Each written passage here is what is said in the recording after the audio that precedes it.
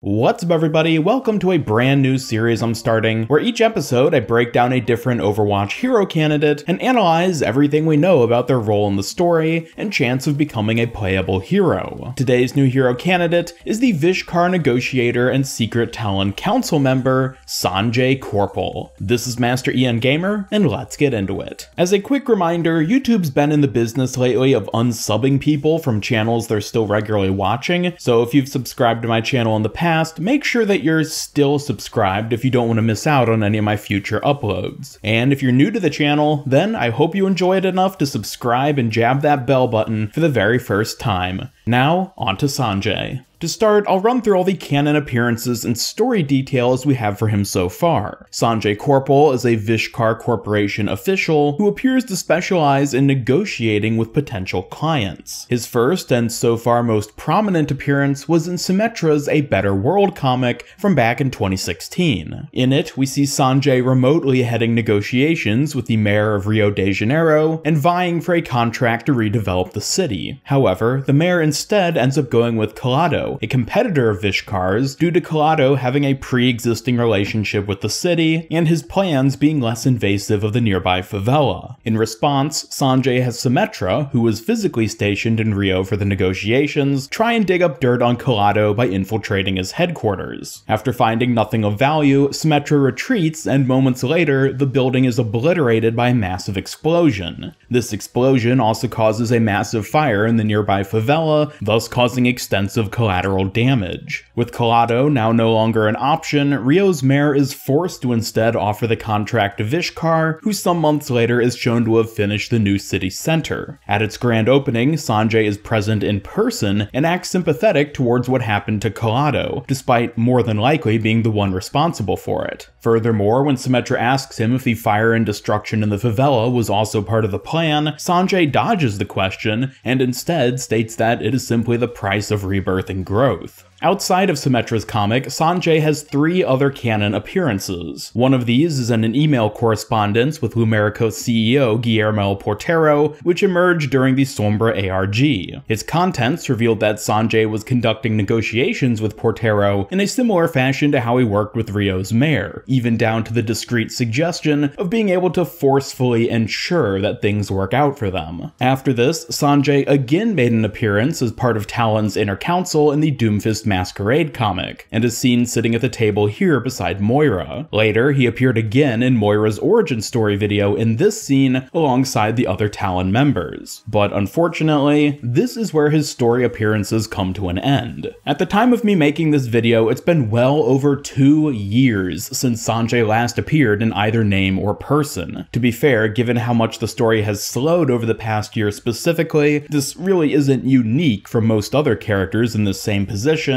but nevertheless, there is much more we can deduce about Sanjay based on these few appearances and the Overwatch universe as a whole. So now let's dig into the more speculative side of his character and how it could factor into him being a future playable hero. First and foremost, it's safe to say that Sanjay is a bad guy. Even if he wasn't a confirmed member of Talon, his cold disregard for human life secures the status for him. However, like many of Overwatch's villains, he may very well be a bit more complicated than than that. In a better world, we see that Sanjay prefers to achieve his goals through diplomacy first. When this fails, he next resorts to underhanded tactics, and only after that too fails does he go so far as to commit murder and violent destruction. It's hard to tell whether him prioritizing a diplomatic approach is grounded in his own morals, or simply what's most practical for Vishkar, but I'd actually argue that the two are one and the same. In every one of his appearances, Sanjay is shown to behave in an incredibly formal and clinical manner manner. No matter what, he stands by whatever is best for Vishkar as a corporation, so much so that it appears synonymous with his own morality, ranging from him demanding that Symmetra behave professionally towards Rio's mayor, to questioning why she would bother incapacitating the guards rather than just killing them. Sanjay seems entirely detached from any sort of emotion when it comes to getting the job done. This suggests that he either possesses an incredible degree of professionalism, or perhaps even straight up lacks human empathy. Either he has no emotions of his own and uses Vishkar's mission as a moral compass, or believes so strongly in the goals of Vishkar that he's willing to suppress his own individuality for the sake of achieving them. Unfortunately, given how little we've seen of him so far, it's impossible to determine which of these are the case. It's also worth considering whether Sanjay even believes in Vishkar's ideologies, or if his alignment with them is merely a way of achieving personal power. He certainly comes across as confident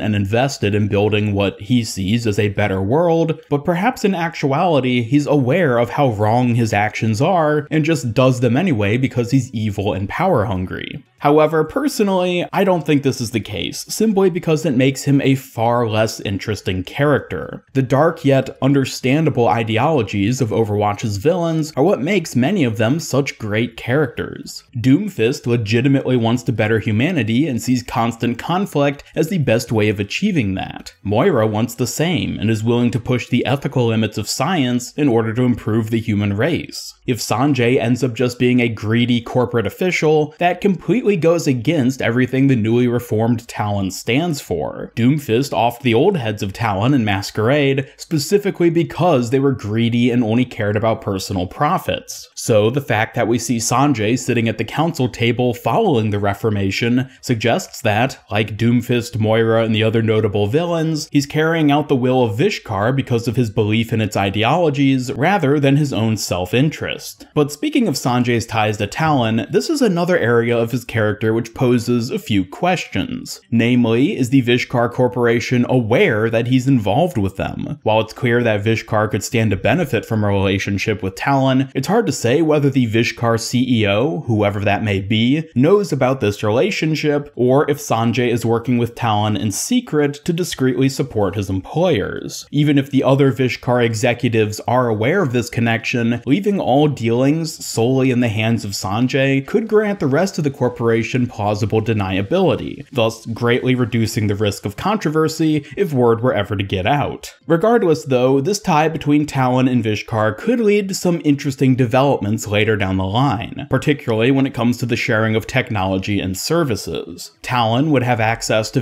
Vishkar's hardlight and sonic technologies, and Vishkar may be able to use Talon for intelligence and mercenary work while keeping their own hands clean. Depending on how far back the relationship between the two has existed, Talon agents may even have been the ones personally responsible for blowing up the Colado building under orders from Sanjay. Looking at possible gameplay implications, we might even see Vishkar technology manifest itself in the upcoming PvE missions of Overwatch 2. While Vishkar may end up being its own faction for us to play against, we instead might just see certain Talon units who use hard light and sonic weapons, courtesy of Sanjay's ties to both organizations. But that's getting a bit ahead of ourselves. For now, let's just stick to Sanjay himself, which is a good transition to talking about his potential hero kit and abilities. Now, I've actually already made made an entire video delving into a hero kit I designed specifically for Sanjay, so I recommend checking that out after you finish this video, but for a shorter, more synoptic look at Sanjay as a potential hero in Overwatch, let's examine the kind of tools and mechanics he may end up having. First and foremost would of course be hard light, given that it's a technology predominantly used by Vishkar, with the one known exception being Lucio who stole it for the purpose of making hard light skates, it's safe to assume that Sanjay would utilize hard light to some extent within his kit.